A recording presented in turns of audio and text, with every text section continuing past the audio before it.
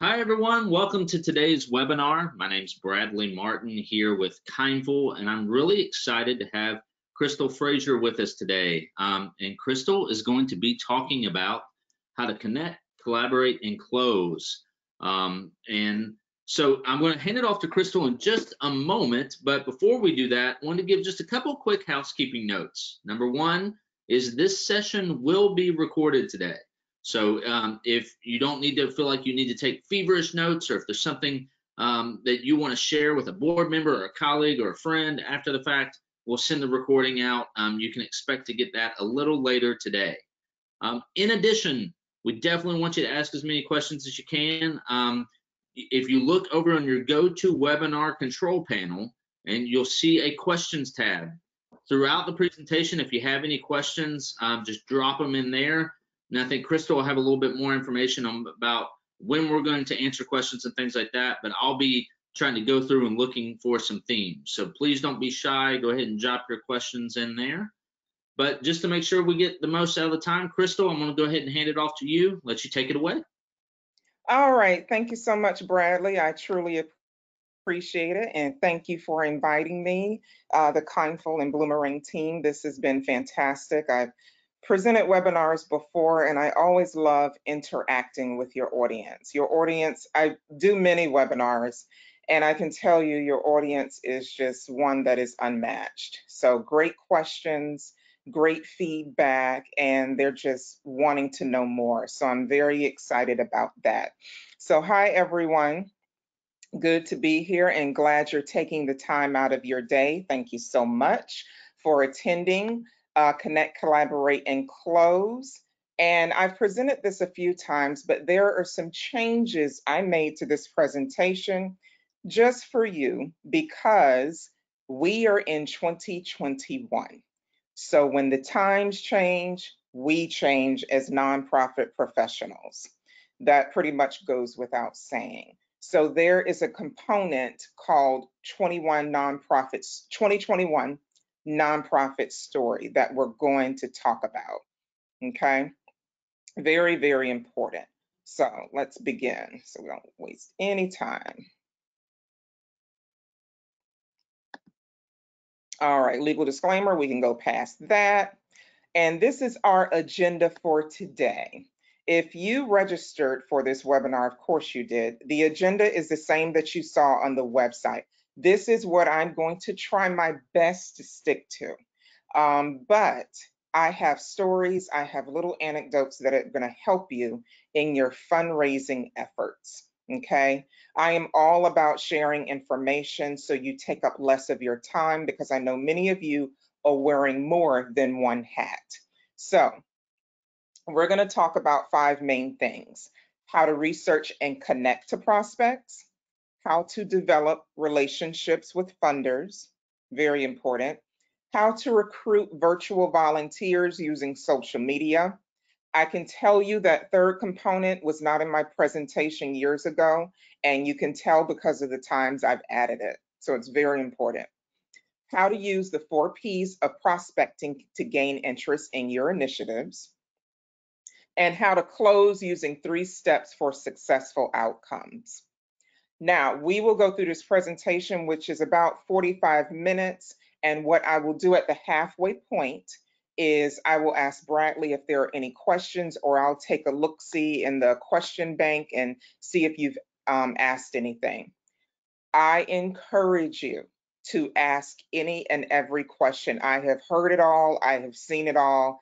Ask your questions about your fundraising efforts about being a nonprofit professional and how to thrive after the during the and after the pandemic in 2021 if your efforts changed in 2020 it is imperative that you ask the questions you need answers to okay? All right. So connect collaborate and close. The first puzzle of this piece we're going to discuss is connecting, connecting with your funders, your donors, and your prospects. So the first bullet point, how to research and connect to your prospects. This is extremely, extremely important. Some people want to delve in the other steps of connecting and collaborating, building relationships, but you really need to have a solid foundation.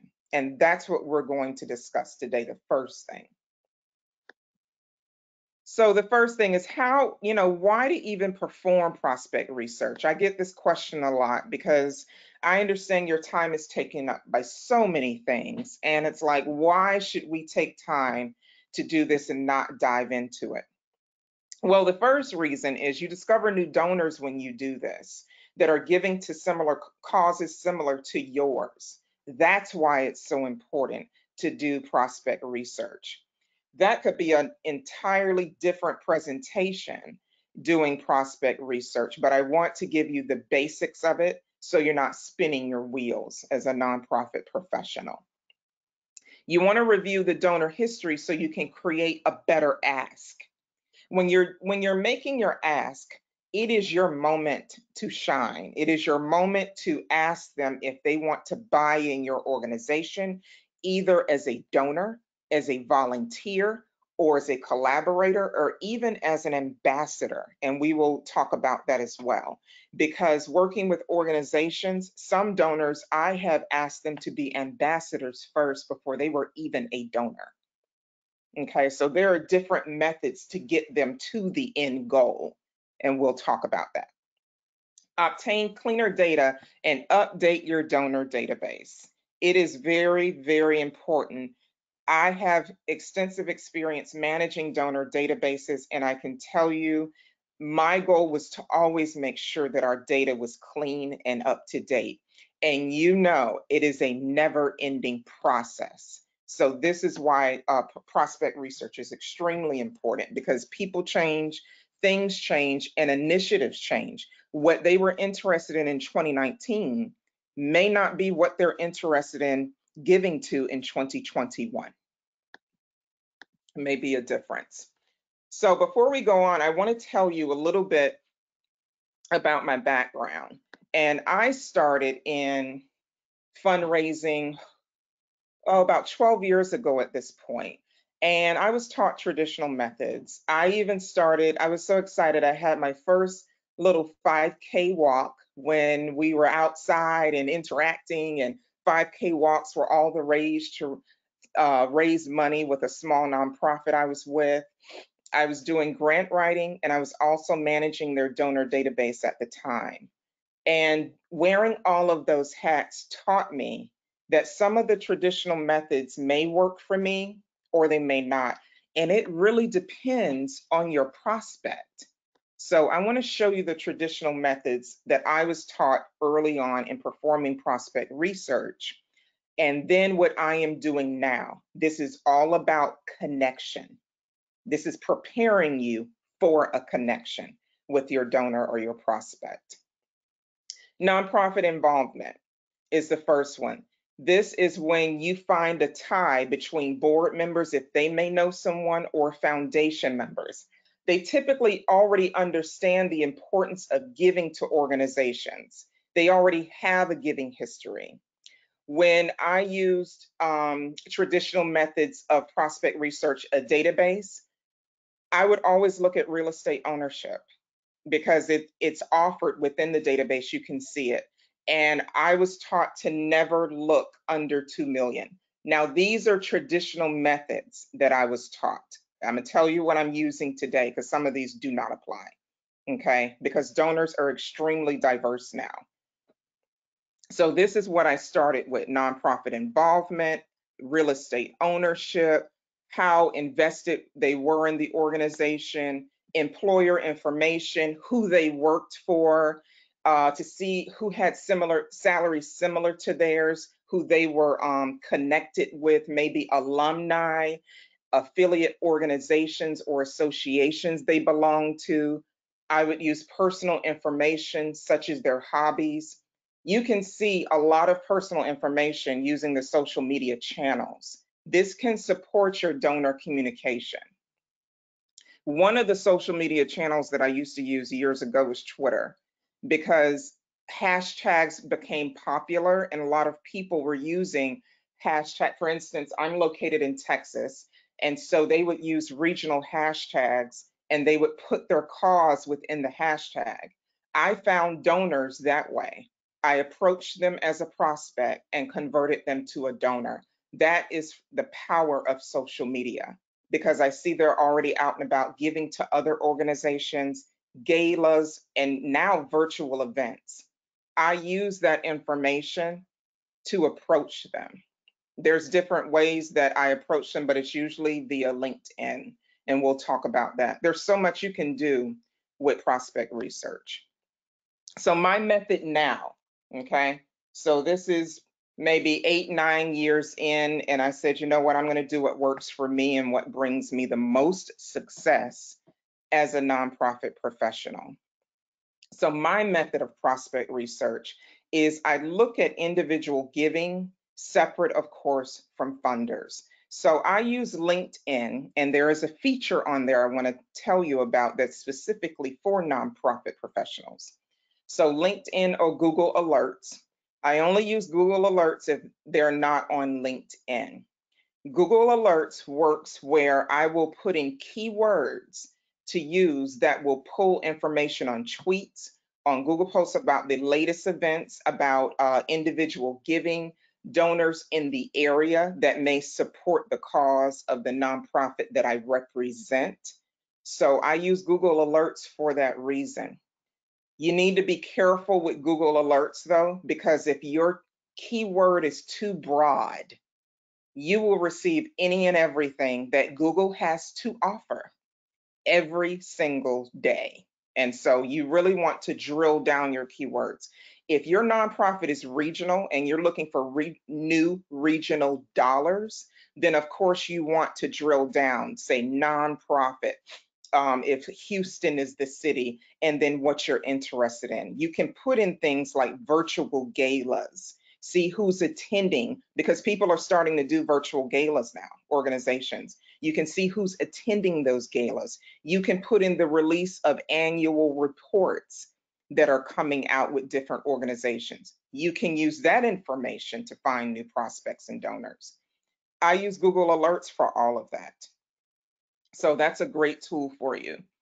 A personal summary, okay? You want to, with your prospect, write a paragraph and make sure that you have it in your donor database about what they give to, any communication you've had with them.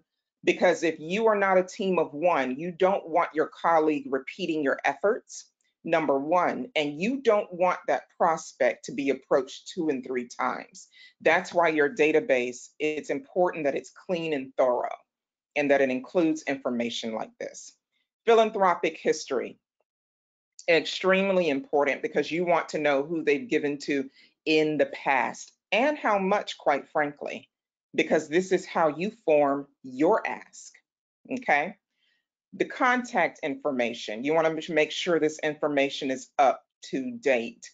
You can miss out on money, and I've seen this done before, including in my own career. You can miss out on money just by not updating contact information or asking for an update on a regular basis. Okay, so it's a very basic component of prospect research, but it's very important to your fundraising efforts. I want you to spend less time doing this. That's my goal. My prospect research for funders. Of course, board affiliation is the first one. Okay, I try to see if there is some type of connection. Their giving history, annual reports of organizations that they have funded in the past. I look at that to see who's giving to that organization. Funder guidelines. You want to make sure that you're a match that your initiatives for your organization matches the funder's priorities. What if their priorities is this, you want to make sure that your organization offers that, or if you're um, creating a new program, you want to make you want to reiterate that in your efforts. You want to make sure that they know that this may be new to you, but that you can still do it. Okay, so you want to make sure that it is a match for that funder. I use my research to create the ask. I use it in all of my communication because I'm I'm trying to cultivate a relationship with the funder and the prospect. I use it to, to cultivate, to, to communicate with them, to stay in contact with them. If we're having a virtual Zoom update of some sort, an organizational update, I make sure that I reach out to them and let them know and invite them. I want to, during the times that we're in, to stay in contact with them. Everyone cannot do something in person right now. So I want to keep in contact since I'm losing that component of it, I have to pivot with the times we're in and use virtual events to my advantage. So I use prospect research for all of that. Now, this is still under bullet one. We're talking about how to research and connect to prospects. So what you want to do is connect with people who are your allies allies to your industry who understand. Uh, let's see. Bradley, I'm looking at the, the question bank and it says that I'm dropping in and out. Can you hear me okay? Yes, I'm I'm actually able to hear you just Okay. fine. Okay, cool. Okay. All right, very good. So after I go um, over the candidates, which we're going to talk about, I see a few questions now and I want to get these out of the way. Okay, so we'll talk about them. All right, so let me show you how to connect to people who may be allies in your industry. So I want you to consider this, okay, these candidates. The first one is Wendy Ryder. You want to answer the question, who can I connect with that is passionate about my industry?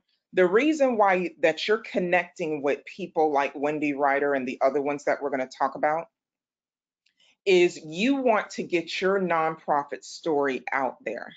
See, when I first started in fundraising and with nonprofit orgs, I usually ran the social media. In fact, I asked to because if I'm doing the fundraising, then the donor database, and if I'm doing that component, I want to control our front facing presence when it comes to social media, what we're saying out there, how often we're making the ask, the, the type of posts and, and questions I want to pose to our audience so that we get those comments, those likes, those shares, and that feedback. So it boosts our presence within social media. So I usually asked to if I could do the posts, if I could pretty much run the entire thing. Um, it might be a control issue with me, I don't know, but I just saw them going hand in hand, that they work uh, together well. So the first person, type of person that you want to connect with is Wendy Ryder. Wendy lives on social media. She writes thought-provoking posts. Wendy has a moderate following and doesn't mind sharing great content. I'm gonna give you an example so this can really, I can drive it home to you. I was working with a nonprofit and their initiatives was uh, climate control and also recycling.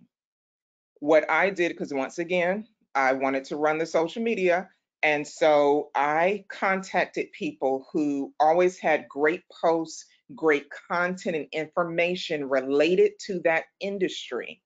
And I would simply just ask them to retweet, repost, re-Facebook, whatever it's called on there, re everything, LinkedIn especially, if they could just repost our content.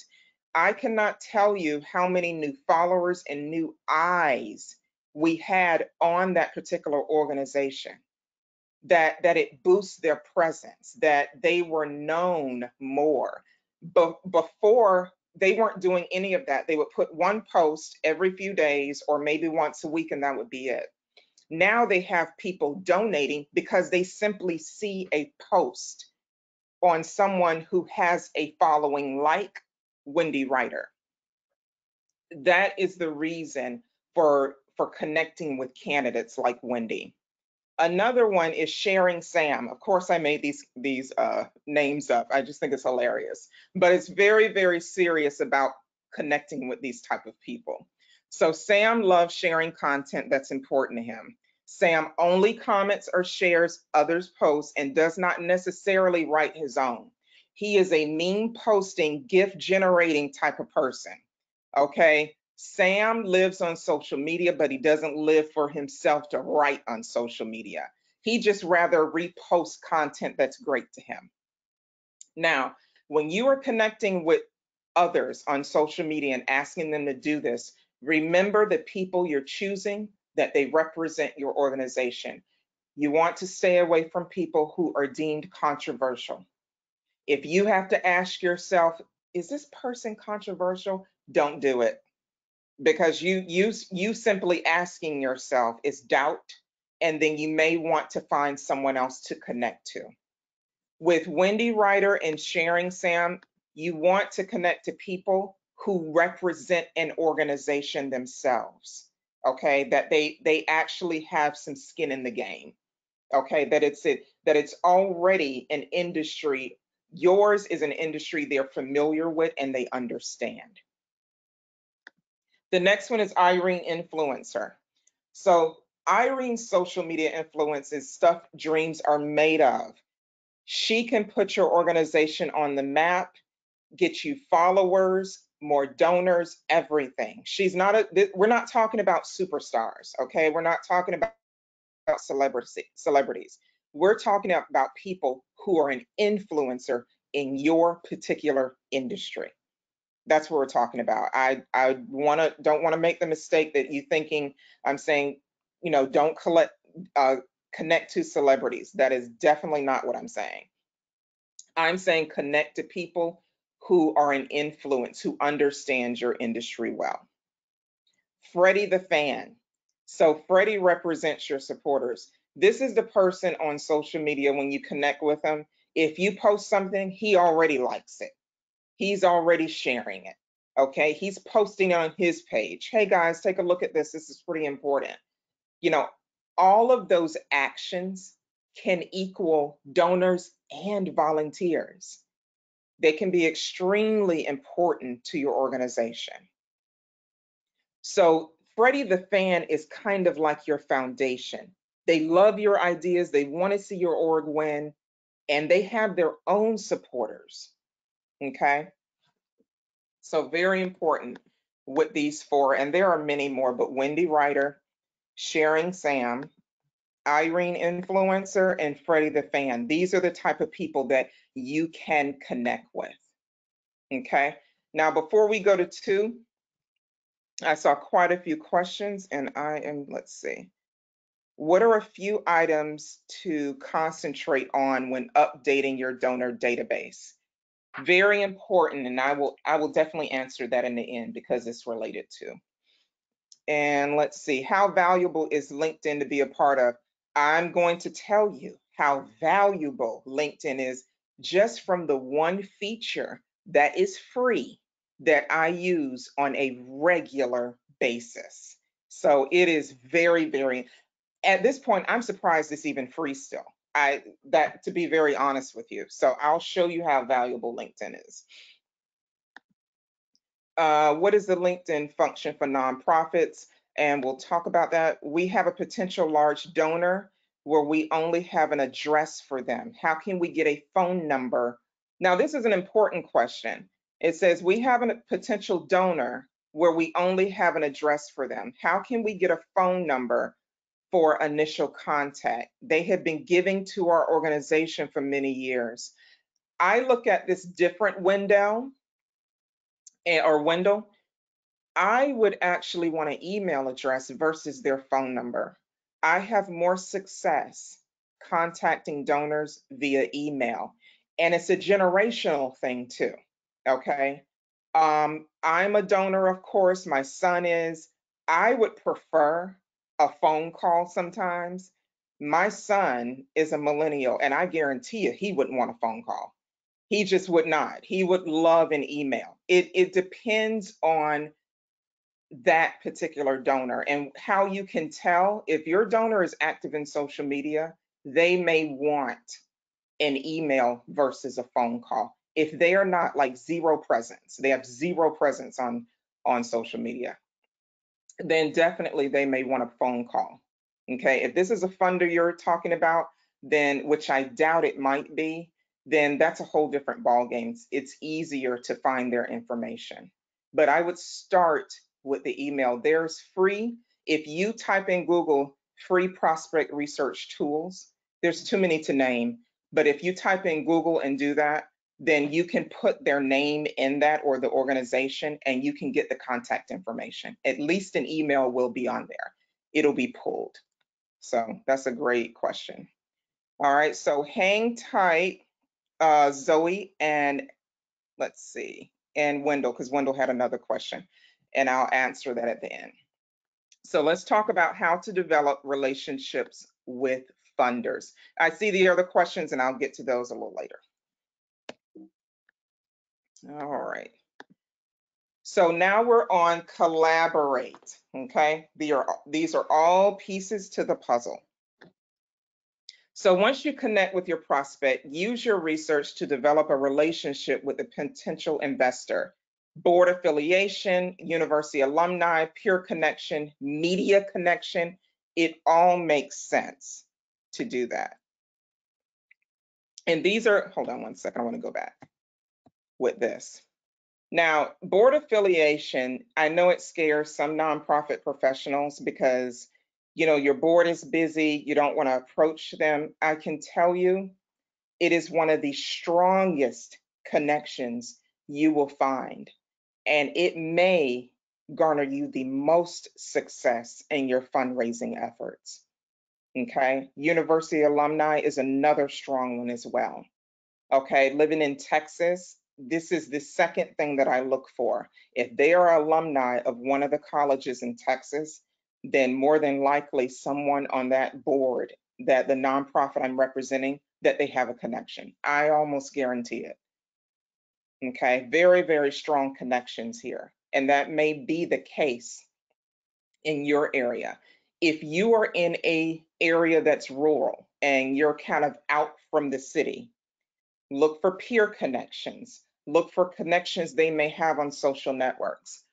I push social media research as part of your prospecting because it is a free tool, number one. And then LinkedIn has other things for nonprofits to use. Okay, so it's, it's a great tool for you. So questions to ask yourself when you're collaborating, when you're doing this connection how do you engage prospects now? Okay. If you if you can answer that, put it in the chat if you want to see if that's working for you or not. I can give you my opinion on it. How do you maintain relationships with current donors? Do you contact them once a month? Do you do a newsletter? Do you do any actions outside of the newsletter?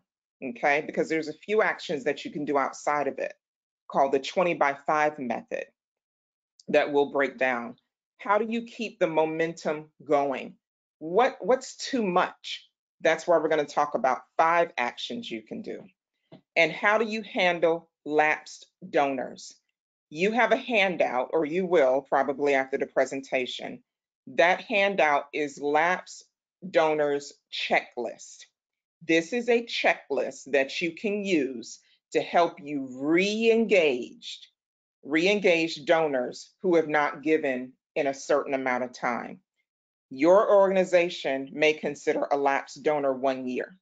You may consider it three years, five years, 10 years, whatever you consider it. In fact, that's the first bullet point on that checklist.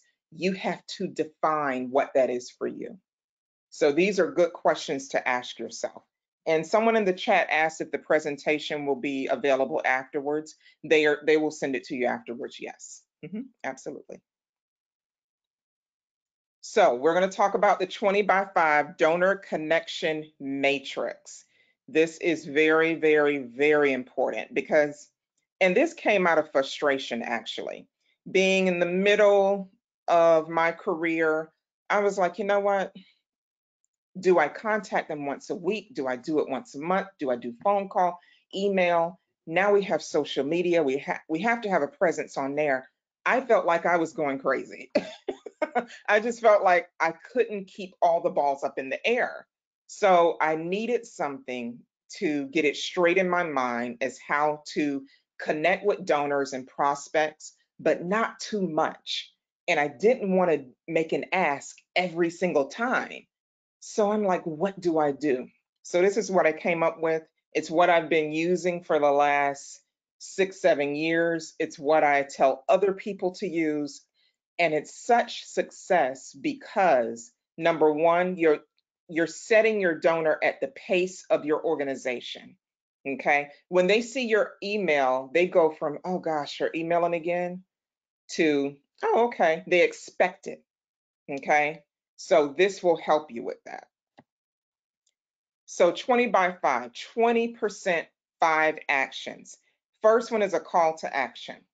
Include call to actions in 20% of your communications. This is the getting to the point part. You have to direct the reader to the reason for your contact. You don't want to do this in 100% of your communications.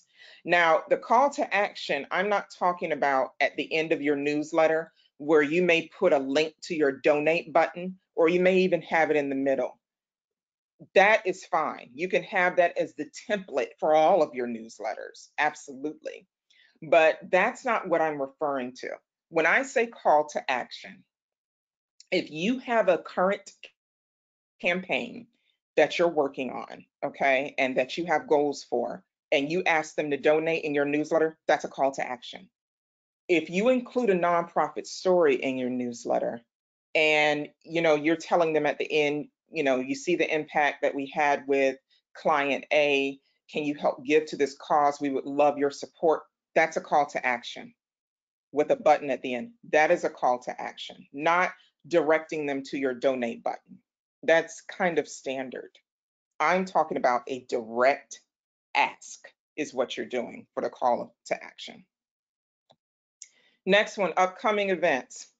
If you have transitioned of virtual events as an organization, or you're like some of the organizations here where we're kind of getting back out there. Um, there are a few galas scheduled at the end of the year, uh, believe it or not.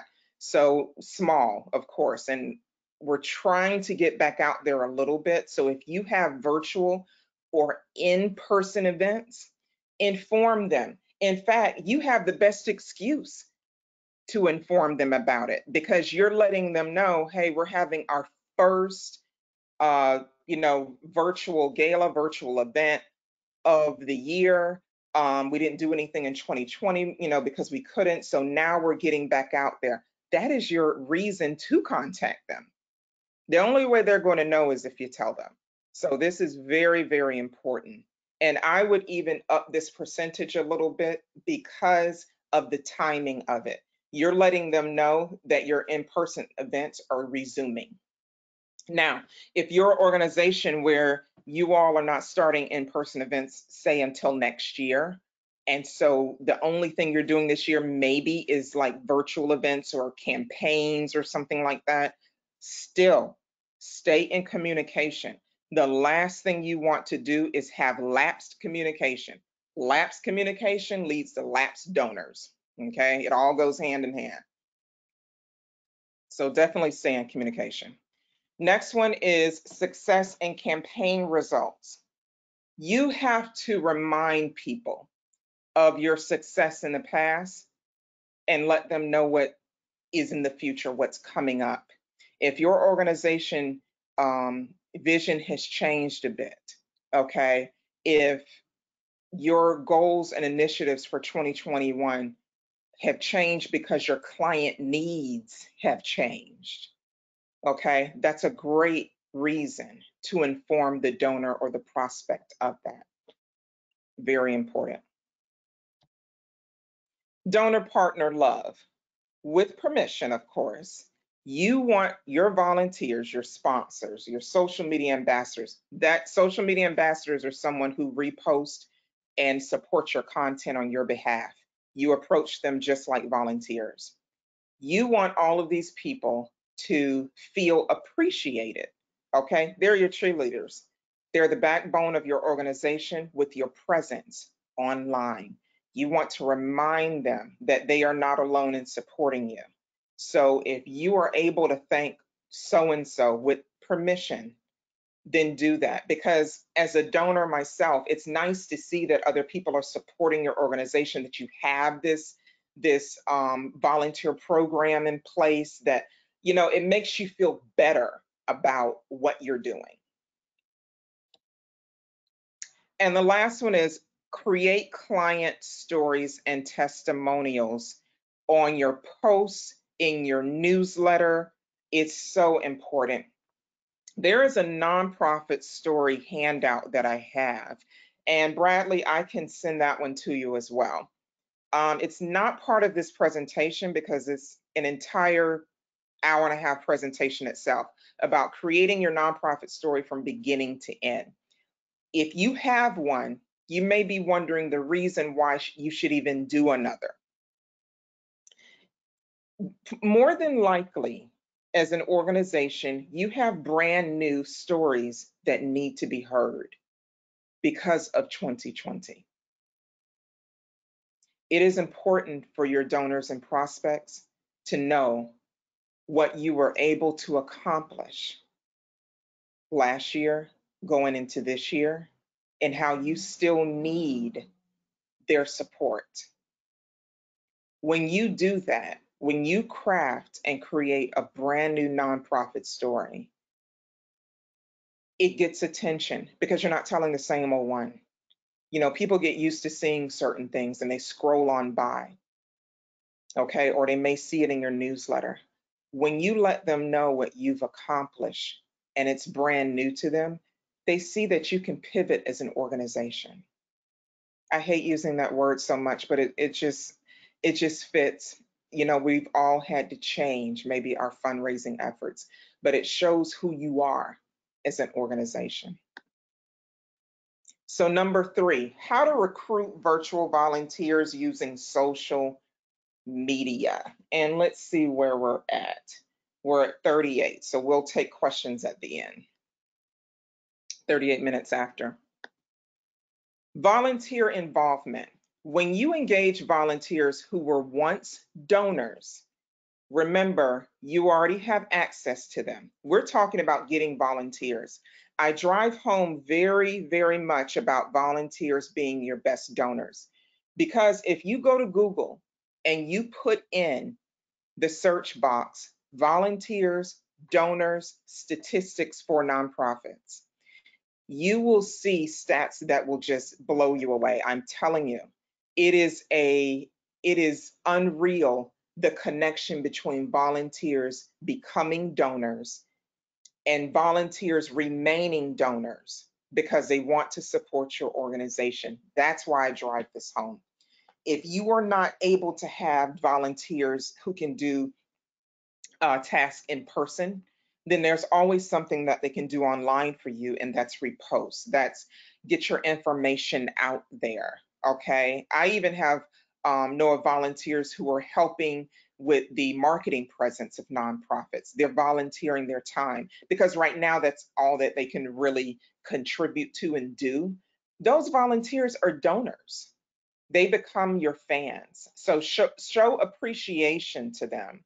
You know, there are briefings that you can do with the same webinar platform you're using for meetings you know, you can invite them that way. You can say thank you.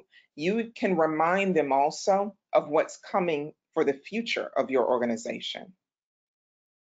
So when you engage volunteers who are new to your org, you can send an invite or do a call for volunteers. I have seen this on LinkedIn with great success. So the response you receive from that, it'll tell you either if they have no interest, or if they don't have the time to do it. If it is a time issue, you'll know. If it is no interest, then you have to move on. Okay, and you might uh, contact them at a later date. So when I talk to prospects or donors, the number one reason they don't volunteer is they were never asked. They were never asked to volunteer. So it's something very important to include in your communications. If you need volunteers or if there's certain things that you can trust a volunteer to do for your organization, then I encourage it. It looks great in grant proposals that you have volunteers for your organization. It looks great on your presence in your presence online. Okay, something you can put on your website. It it says a lot. It's a testament to who you are as a nonprofit. So this is the LinkedIn feature that I was talking about. LinkedIn for Good. That is the link, but an easier way to get to the pages that you want is just put in Google LinkedIn nonprofits. It will bring up two options. Don't do it now. You can do it after the presentation, but it will bring up two options for you. If you're looking for board members or if you're looking for volunteers. I use this feature on a regular basis. You may wonder how LinkedIn is getting this information. When you sign up for LinkedIn, it asks you, would you like to be a volunteer or what are your interests? People who have checked those two, and it's not required for you to check, so it's not something that LinkedIn is pushing you to do. But when you check volunteer board members, it puts you in the category of nonprofit interests. Okay. And when you look in LinkedIn, when you search for volunteers in your area, you can also drill down your search and choose people who are looking to become a board member or who are looking to volunteer to a local organization. This is an extremely important feature for you. And it's a feature that I have used over and over again. I have had success finding local volunteers using this LinkedIn feature. The board members is a little bit trickier because this is something really that you need to be careful about. Um, if you're a smaller nonprofit organization, because people need to be vetted, you need you, there's so many protocols in place. But the volunteer feature is a hidden gem that most people really do not know about. I don't work for LinkedIn; they're not giving me any money to say it. I wish they were, but it's just a feature that I absolutely love. It, it's a great feature. So I encourage you to try it. If you have any questions about it, put it in the chat because we'll answer them. I'll answer them shortly. So we're going to talk about the U, the four P's of prospecting to gain interest in your initiatives. Okay. This is one of my other methods of fundraising. I just come up with all of these things to help me in my fundraising efforts. I am the type of person, if you are a planner, if you are a person that likes a blueprint, that's why I use the 20 by 5 method. That's why I do the four P's because it it helps me streamline my efforts so I can get more done in other areas.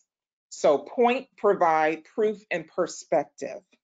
You want to keep your message brief, to the point, and compelling when you are contacting a donor, when you're contacting a prospect, okay? Agitation is something that you can clearly hear in their voice. You want to keep it brief when you're talking with them or even emailing, actually. Okay. Because the thing that you have to concentrate most in your communication as far as emails is subject lines, because it's the only thing getting them to open it.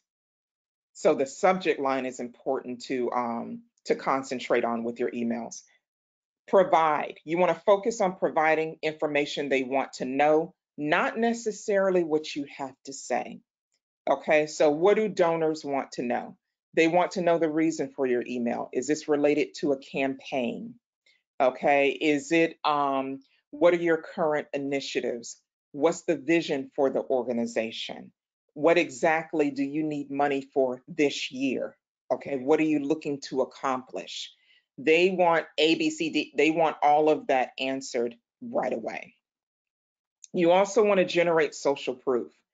Most of the slides that you have seen in this presentation have been about social proof. You want to use LinkedIn to follow prospects or join groups related to your industry. I review grants on a federal um, level and also for uh, local funders, organizations. And I can tell you as a grant reviewer, for funders, the first thing that I go to when I'm reviewing an organization, if I don't know of them, I have no knowledge of them, I go to the internet, of course. I go to social media, see what they're posting, see if people are interested. I had a federal grant application ask for our Twitter handle. Times are changing when it comes to funders and donors and prospects. I was one of those, I did not want to embrace the part that social media has in my fundraising life, but it is a part of it. It is a part of it. And the last P is perspective. You want to share company updates and campaign results. You are telling people how they should feel when you're telling them your nonprofit story and when you're sharing your, your company wins. Okay. You want to them to understand that you're still making traction no matter what's going on out in the world, that you're still serving your clients, that that uh, your board members are happy, that your staff is on board and, and getting things done. You want to share your company wins and your campaign results. So how to close. This is the last bullet that we'll talk about. So how to close using three steps for successful outcomes. Close is when you make your ask or you're talking with a funder, when you're connecting with someone that they want to buy into your organization. They want to support your organization. So we're going to talk about how to close. This is your moment. This is what you have been waiting for. And this is where I used to buckle as a new, as a nonprofit professional newbie, a lot younger than I am now. And I was so scared. And it, you know, it's like, how do I end this conversation? How do I end this email? What do I do? This comes with practice and confidence, and I had to gain it over time. So I want to help you because these are the three things that I concentrate on. And when I follow these blueprints that I'm telling you, the four P's, the 20 by five, what I teach other people, they use this over and over and over again to the point where practicing is not even something that they do. Is they just fill in the blanks pretty much. So with your close, you want to tell them about the milestones you've achieved. Everyone likes to be tied to a winner. Okay. There's a reason why next time you're on social media, LinkedIn, say, the next time you see someone put something thought provoking on LinkedIn, um, something real interesting, you can actually watch their connection count go up. And I'll give you an example. I commented on something. I I put a video, um, an inspirational video, something um, to inspire nonprofit newbies, something like that. My connection count was through the roof. When I put something or repost something that is a little bit bland and not as interesting, people don't buy into that. You want to let people know the milestones you've achieved because we all want to be connected to people who are winning who we think are doing a great job. Okay. The time frame, there is an urgency with your campaigns, with what you're trying to do. Okay. You want to let them let them know that time frame. The future. Everyone wants to be tied to what your vision is in the future. Let them know what they're connecting to, what they're the collaboration that you're creating okay? Let them know on your close what you're about four or five years from now. Now, I don't think you've received your handout yet, but this is the lapse donor handout, okay? And so what you wanna do is prepare, engage, and follow up. We went over the 20 by five method. We went over all of these, these methods and everything. You wanna ask an invite, but remember, look at the first bullet point you want to define what it means to your organization. Okay, I have my own thoughts. You have to go by what your organization defines lapse donor as. Okay. And the 20 by 5, the donor connection matrix that we went over, that is available at fundjoy.org if you click the purple bar. Okay, so you can just have it as a one sheet for you. So you can have it at your desk or save it on your desktop so you know exactly what actions to do and when. And that is it. And let me go, hold on one second. My cursor is gone. Oh, there we go. Uh, let's see. Keep on that slide. How about that? All right. I am going to go to the questions. Uh, let's see. I stopped at, I told Patricia, yes, the slides will be available after the presentation. All right. All right, great, Amy. I'm glad you heard the presentation. All right, Kathleen says candidate, candidates are advocates for your nonprofit. Great definition. The candidates that we went over with the little snazzy names and everything, that's exactly who, who they are. They are advocates for your nonprofit. I call them candidates because I promise you, you need to consider these people very well. You need to look at their background. If they're posting things on social media that don't line up with your organization, then by all means, go to the next person. Um, so this is very important. Remember, things live on social media forever, forever. So you want to make sure that you're vetting these people. So great, um, great definition, Kathleen. And let's see. Nels asks, our event announcements almost always include a call to action, a link to register, purchase tickets, how does this factor in your recommendation for 20% to call to action communication? Great question, Nels. What I would do is I would almost separate the 20 by 5 method from your event. And I'm going to tell you why. With your events that you're doing, virtual or in person, that is a different communication path that you're taking. Okay. So, say you're like, there's a gala in October okay, that I'm doing, gala in October. So I started communication for this gala in January, okay? All of the communications that I have for this gala is completely different and separate from regular communication that I have with donors. So the differentiation with the 20 by 5 method and event communications leading up to an event is that 20 by 5 is for regular donor communication. If you have a newsletter, and the number one question I, I'm asked is how often?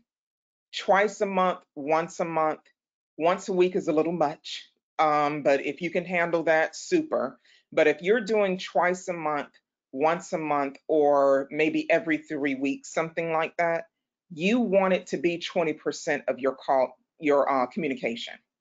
This is separate from your event announcements because that is a schedule of announcements that you have leading up to an event, and you need to keep reminding them to register. Okay, it takes seven to 10 times. I know you marketing professionals know this.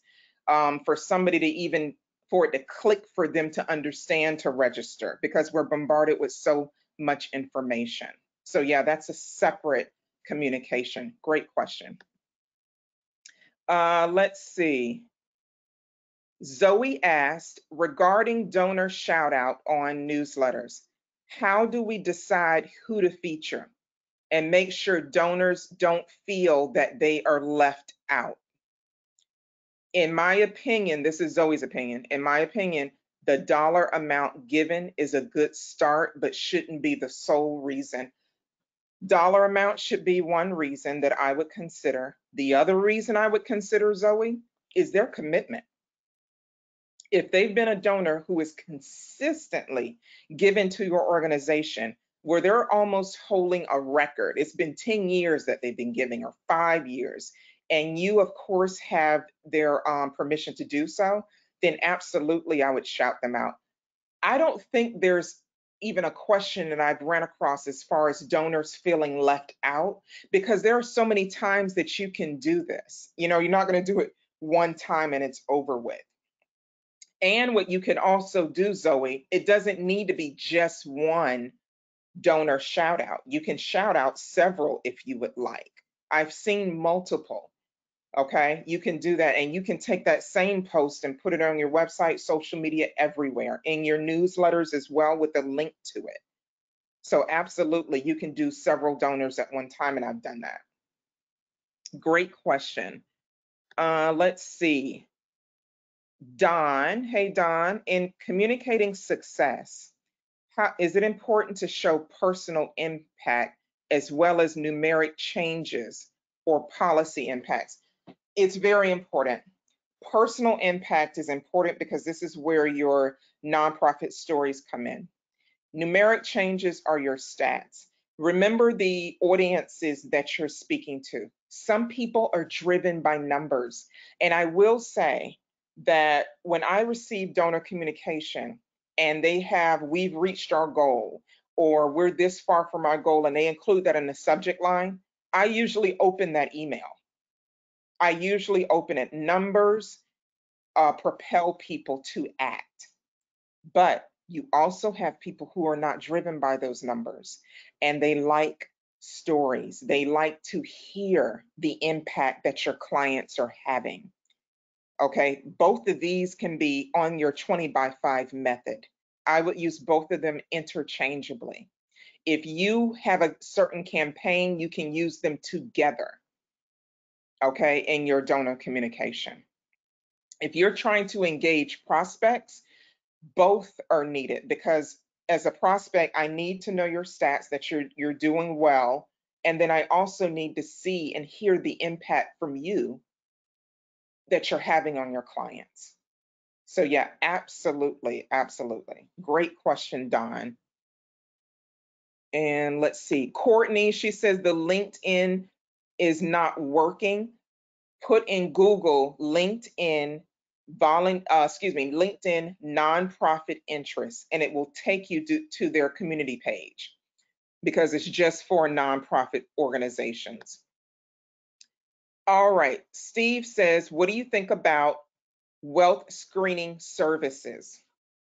This is what I used in the beginning of my career. Um, I used three actually, wealth screening services. They were worth their money back then. And I'll tell you why, because I didn't have any contacts. I didn't have any contacts starting out, didn't really know anybody in the industry. I don't use that wealth screening services, and I don't know a nonprofit that does actually two, two who are extremely large, two extremely large nonprofit organizations here in Houston use wealth screening services. But all of the other ones that I work, they don't need that. It, it's not really needed now just because of this component of social media. Everybody tweets what they're doing. Everybody, somebody is involved with something. And also people who are on wealth screening services, they usually may belong to certain associations. Okay, associations is another end that you can have in finding viable prospects who can be converted to donors. So I think starting out in your prospect journey, Steve, I think wealth screening services can benefit you, but you will find that once you use it, you will find other ways with your network, with your peers. Um, there's a great organization, or several. Um, one that I am a part of is Grant Professionals Association. And I know some of you may be familiar with it, but even though Grant is in the title, I mean, these are fundraisers. AFP is another one, of course, Association of Fundraising Professionals. Once I built up my network, I didn't need a wealth screening service. So that that's something that you can consider. So definitely at first, if you want to check it out and see what it's about, absolutely. And let's see, the last question I have, I believe, I'll make sure that I've hit them all. Oh no, there's there's there's a few more since I was talking. All right, so do we want Anita? Hi Anita. Do we want to follow back the individuals who follow us on social? Anita, I can answer this in one sentence. If their background, experience, and their presence on social media is not controversial, is professional, and will represent your organization in a good way, then you can. If it does not, do not. Absolutely do not. I think people forget, and I see this on social media all, all the time. Almost every action you have on social media, your friends list sees that action.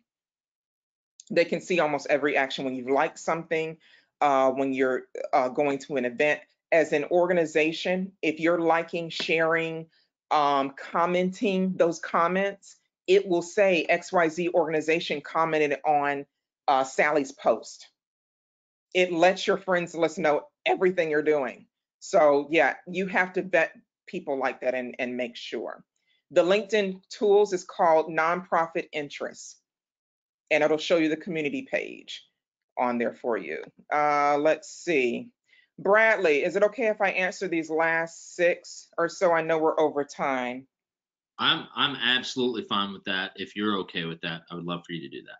Oh, sure. Yeah, absolutely. Absolutely. I um allotted for it. All right, so I'm at Don. I'm not sure if this is the same Don or not.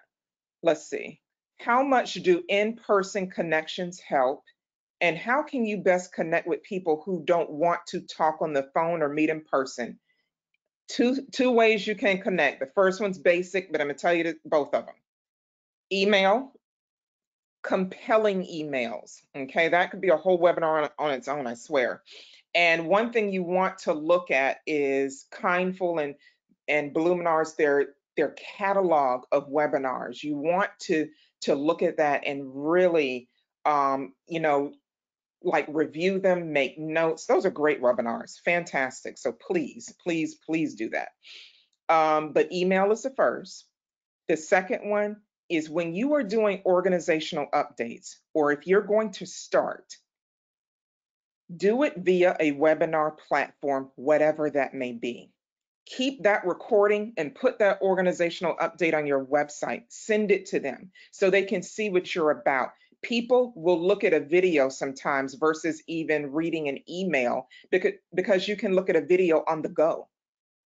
Okay, so definitely do that. Do the email or you can do uh, video via any webinar platform. One nonprofit I worked with, they wanted to start a podcast and didn't have time to do so.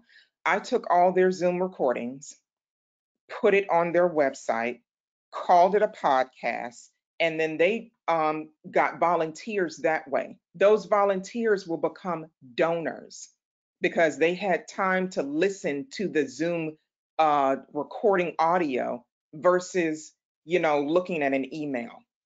They probably wouldn't have gained them any other way. So, I mean, you can take your recordings with these webinars, your organizational updates, you speaking into the camera or doing an audio and repurpose that and use it to your advantage.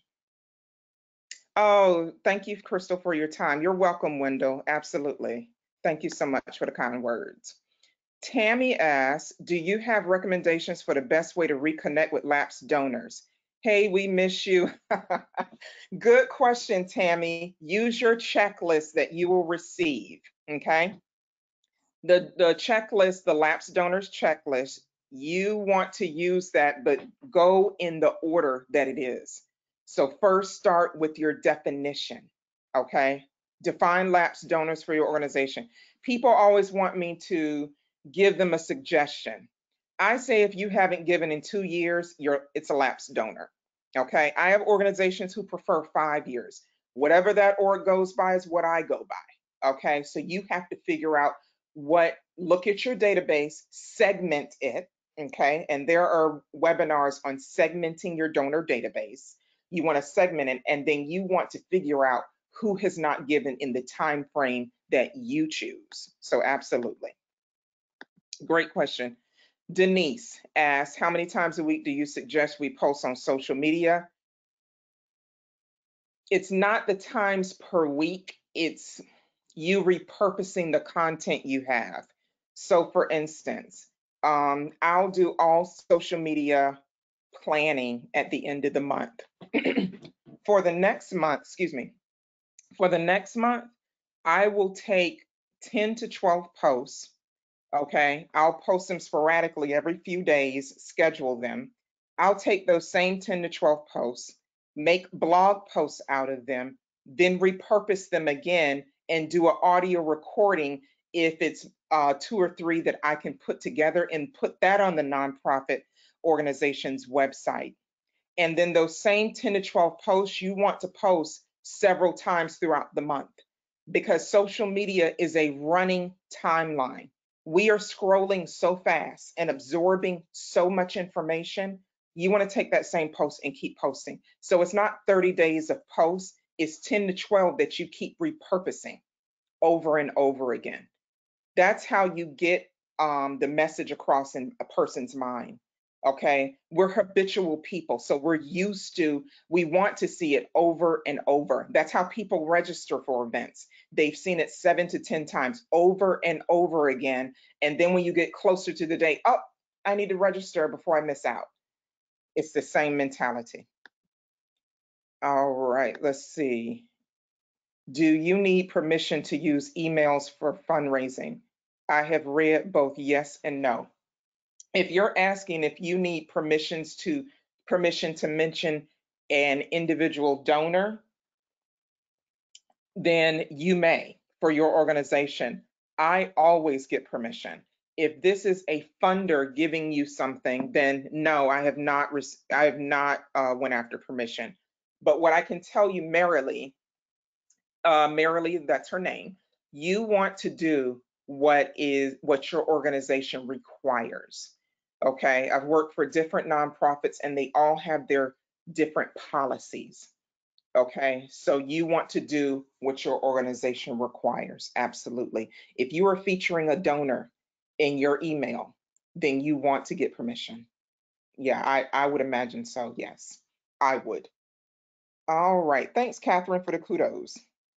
And we have three questions left, Bradley, so I'm getting there. okay. Okay, no worries. Um, I, these are great, great, um, pieces of information. So I'd love for you to continue if you have time. Oh, oh, absolutely. All right. So, hello, Jennifer. Um, any tips? Jennifer asks, any tips for first conversations with potential major donors? Ooh, we have had multiple high net, high net worth individuals have their assistants reaching out. Oh my gosh, how do you transition into that ask? That is a great question. There is a fundraising, uh, I teach a class called Fundraising Scripts, and not trying to do a plug or anything like that, but there is a method that I use. I create all these methods because it's less work for me once I have the method written down. So my fundraising scripts class, we go over four components that your script needs. Your script is your ask. Okay. So those four components, I can actually, uh, Bradley, I'll send them to you. Is, is that okay? Absolutely. Yeah, that'd be great. Okay, I'll send them to you or Stephen or Courtney. I'll send them to someone. But there are four questions and they have context. So Jennifer, you will receive that. I'm speaking, hoping this is going to happen, but you'll probably receive that with your um your handout and probably your presentation. But there are four questions. But the questions center around four components. The first one sends around centers around you introducing yourself and quickly, and I mean quickly telling them why, the reason for the phone call or the email. The second one is what your organization is doing to combat, to fulfill your mission, to combat the issue. How are you fulfilling the cause? The third question is the one that most people don't think about. It's a great component, and it's how you fill the gap. How are you filling the gap in your region, in the in the nation? Uh, if you're an international nonprofit, how are you filling that gap? And the last one is when you make the ask. Okay, so those are the four, and I will send those to uh, one of the kind kindful people. Absolutely, so you can have them. I went pretty quickly, but yeah, I'll send them to you, Jennifer. But those are your four. Uh, thanks, James, for the kudos. Appreciate it. And let's see. This has been one of the best fundraising. Aw, uh, best fundraising webinar she ever joined. Thank you, Abby. I I so appreciate it. I love what I do in sharing info. And Amy says this webinar has been terrific. Thank you so much, Amy. Appreciate it. And Abby says, any advice for reaching out to foundations we've prospected but currently don't have a relationship with? If you prospected them and they're on your email list, okay, then you want to definitely use your 20 by 5 method, okay? This keeps you from being frustrated of how do I reach out to them? What do I say? What do I do? Use the 20 by 5 method when you are trying to cultivate relations with them, relationship with them, you want to use the 4P method, okay, that we discussed. That's why it's important when you get this presentation, break it down and make it work for you. Okay. So you're building your relationship. The first thing you need to do is follow them on social media. Follow them on social media and see what they're talking about. See any updates they have. See who's on their board. See who's connected with them. Pull their uh, the financials and see who they've given to in the past. That is one of the very first things I do. Okay, absolutely. It, it makes a difference. And let's see, before I get to Jennifer's, I want to make sure I got everyone. All right, so Janelle, oh, it's Janelle saying thank you very much. You're very welcome. Thanks, Tammy. I appreciate it. And I think those are all the questions, Bradley. Awesome. Well, thanks so much, Kristal. I, I know I'll just say real quick, I know we're a little over on time and people probably need to jump off, but I'll just say I, I think you gave such amazing, um, just practical advice. Like um, the Google alerts, I, you know, I've, I've sat through so many of these webinars, um, you know, with people giving different types of advice, but that's one I've never heard. I use them a lot for myself, but I didn't think about using them for, uh, you know, uh, fundraising. And so I think that's uh, just fantastic advice. And then I was not at all aware about the LinkedIn features. I think these things are just amazing tools and such so uh, kind of you to share kind of some of those ideas. So thank you so much. Courtney will follow up with you to get all those different resources and we'll make sure we get them in the email for everyone. But uh, thanks for your time today, Kristal. Oh, you're very, very welcome. And Bradley mentioned a good point. Be careful with the Google alerts. Make sure your keywords are detailed. So Yes. thank you so much, Bradley. This was a lot of fun. I always love uh, presenting with uh, Bloomerang and meeting you and Courtney. And so um, this is wonderful. So thank you so much. Hope you all learned a lot. Appreciate it. Absolutely. Thank thank you everyone. Happy fundraising. Have a great rest of your Thursday. Bye bye. Bye-bye.